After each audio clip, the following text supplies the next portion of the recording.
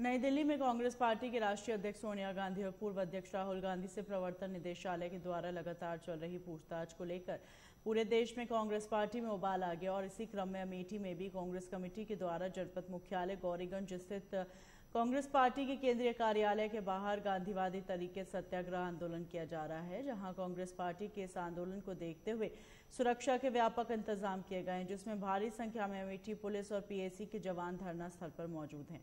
वहीं पार्टी के पूर्व जिला अध्यक्ष और प्रदेश कांग्रेस कमेटी के सदस्य योगेंद्र मिश्र ने बताया, हम लोग गांधीवादी तरीके सत्याग्रह आंदोलन कर रहे हैं केंद्र भारतीय जनता पार्टी के नेतृत्व में मोदी जी की सरकार के द्वारा लगातार लोकतंत्र की हत्या की जा रही है।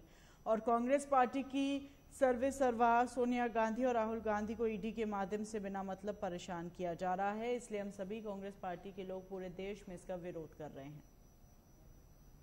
मोदी सरकार द्वारा गांधी परिवार को कहीं ईडी से, कहीं सीबीआई से बार बार परेशान किया जा रहा है। उसी के उपलक्ष्य में जिला मुख्यालय पर कमेटी द्वारा ये सत्याग्रह का आंदोलन किया गया है। यही नहीं पूरे देश में पूरे प्रदेश में ये कार्यक्रम चलाया जा रहा है। जो बार बार हमारी राष्ट्रीय अध्यक्षा श्रीमती सोनिया गांधी जी को ईडी द्वारा मोदी सरकार द्वारा परेशान किया जा, जा रहा है हम कांग्रेस जन इसका विरोध करते हैं। देखिए धरना प्रदर्शन नहीं है सत्याग्रह है। कांग्रेस पार्टी द्वारा सत्याग्रह का कार्यक्रम है, गांधीवादी तरीके से। जिस प्रकार से केंद्र की सरकार, मोदी जी के नेतृत्व की भारतीय जनता पार्टी की सरकार निरंतर जब से गद्दी पे बैठी है, लोकतंत्र की हत्या करती जा रही है।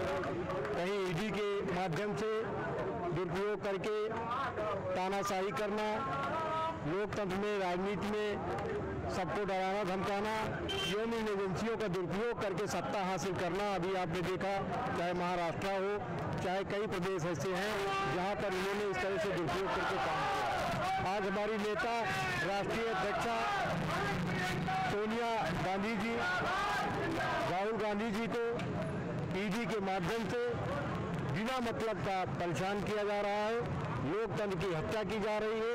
हम सारे कांग्रेस के लोग गांधीवादी तरीके से पूरे देश में इस बात का विरोध कर रहे हैं।